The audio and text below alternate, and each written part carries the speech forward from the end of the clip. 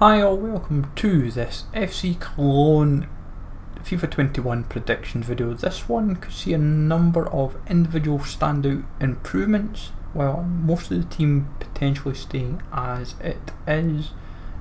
But we'll see how this plays out obviously. So if we can smash links would be awesome. Sub to the channel if you're new, follow me Twitter G is a legend. All links down below for plus the channel and social media links as always and comment down below who you think will get an upgrade, downgrade and all that kind of good stuff for uh, Cologne. Uh, biggest problem obviously for Cologne this season is that they just done enough to um, stave off relegation.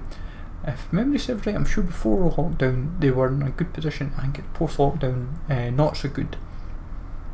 But um, they could easily have been like a mid-table finish. It's almost like how Schalke were. Like they were like post lockdown. Um, even before winter, they were a half decent team. But anyways, with Cologne, um, Horns, um, keeping him as he is, 81 seems fair. Not convinced to upgrade or downgrade if I'm personally honest.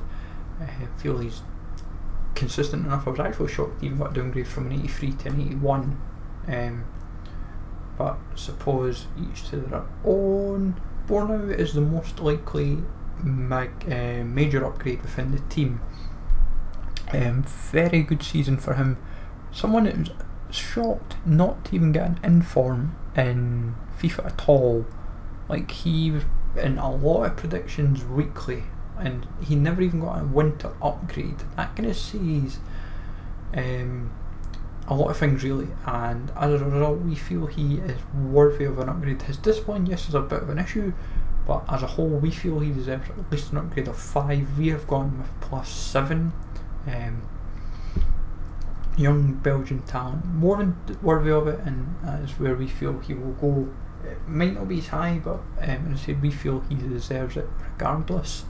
Um, Jorge Meré, we have downgraded him by one. Uh, feel that's most realistic for him, just through like game time and injuries and all the usual factors that um, kind of make up the um, stats. Um, Ehizibue, the right back, Dutch right back, getting an upgrade from 71 to 74 seems quite reasonable. Could even hit 75. It would be preferable if it happens, but I feel 74 at minimum seems logical. Then on to um, Czichos, I think that's how it. I think C could be silent, I might be wrong.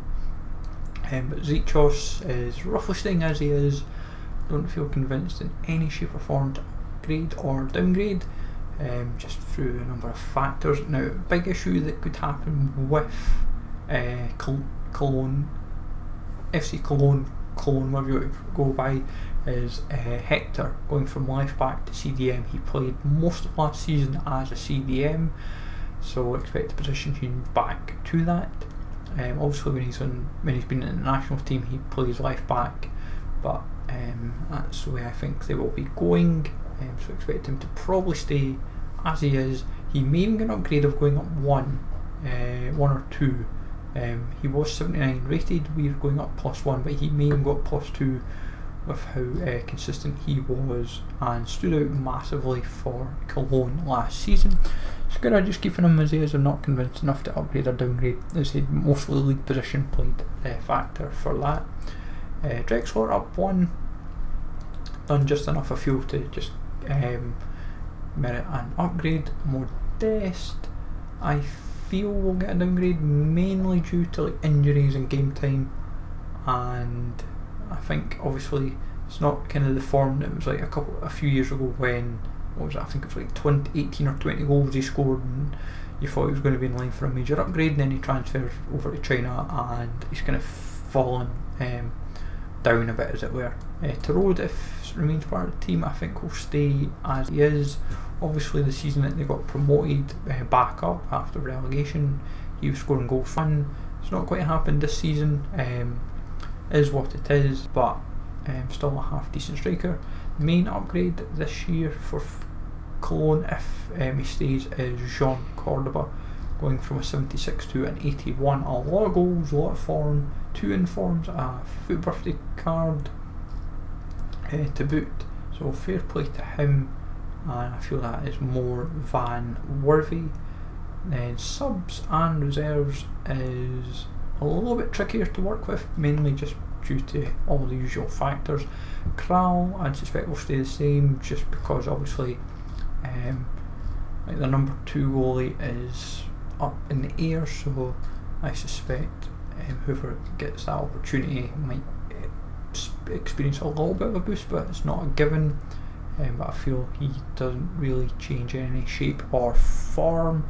Sobiech, um, expect probably a downgrade. I'm seeing two for him, so going from a 73 to a 71. Just a lack of game time injuries and all the usual uh, criteria for him. Schmitz staying as he is, nothing really convinced me upgrade or downgrade.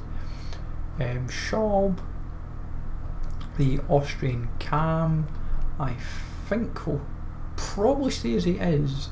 It's not a given, obviously, but it comes down to um, all the usual factors that's thrown in. Kainz getting quite a decent upgrade, going up 3 to a 78, seemed very fair. Had a very good season for them at left wing. Obviously, bagged himself a Shapeshifters, which is non performance related, but regardless, still uh, deserves a significant upgrade due to his goals and assists this season. Koziello going from a 75 gold to a 73 silver. Um, it's starting to just kind of digress a little bit after a couple of good seasons at Nice. Um, obviously, a lot of hype on him, not materialised. Obviously, and since he's came to Germany, it's not really happened for him. Went to Paris FC, didn't really happen for him, and injuries and other factors kind of going against. So I think he'll go from a 75 to a 73. Schindler staying as he is as a 73, I suspect. Don't really see anything that will convince me to kind of upgrade, downgrade as it were on him. And also depends if he stays part of the team. Then on to Jakobs. Seems to be one player that looks like will be in line for an upgrade and a position change from left back to uh, left mid. Um, his upgrade looks of 5 from 62 to 67, so potentially decent stat increases across the board for him. João Queirós is a relatively new transfer for what I've, um, I think, as well potentially, or could be wrong. Uh, but João Queirós, um, 65 rated, staying as he is. Um, I'm going to try my hardest to pronounce this name right. Rex Hebich Kaj. Um, apologies if I butchered that. Um, the Kosovoan centre mid um, staying most likely as he is as a 72 rated. Then Ozcan, another player that's likely to stay as he is, and then Hoger, um, I think is someone that's likely for a downgrade, most likely just minor of going one from a 76 to a 75 and that is roughly it. I think realistically, it's like the players that are, I think, no longer part of the team, if they are like Clemens, Risse, Verstraete, um, Lesnar, if um, Kessler, if they're still kind of like part of the team, um, like going for what I've read, I think some of them are potentially either on loan or like or elsewhere nowadays. So it's trying to factor in who's part of the team and who's not. But I would say realistically, with the team that starting eleven, I think if this is a starting eleven, you're looking at potentially nine to ten players gold in starting eleven to kind of use for SBCs. Also depends on the formation, and if you get lucky, you might be able to squeeze all eleven gold in the starting eleven. Obviously, Cordoba is under transfer speculation, and I believe Bornauw is another one that's under transfer speculation. But all in all, most of this team should be fairly straightforward to kind of put together. They need a bit more squad depth to make the League SBC uh, more easier, and also when it comes to if they feature mark any marquee matchups or any other SBCs in general. But let me know, folks, in the comments down below who do you think are going to get an upgrade a downgrade or staying the same from a Cologne perspective. Hopefully you find this useful as always.